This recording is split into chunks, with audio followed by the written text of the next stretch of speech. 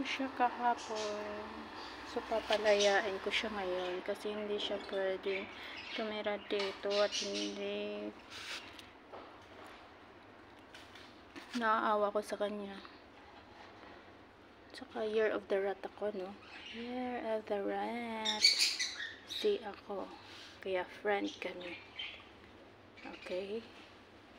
Bibitawan kita ngayon. Wag na wag kang bumalik dito at magpapahuli, ha? Bye-bye, mga isa.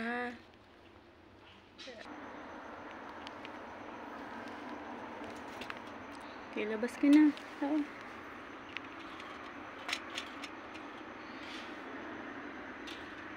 Labas ka na.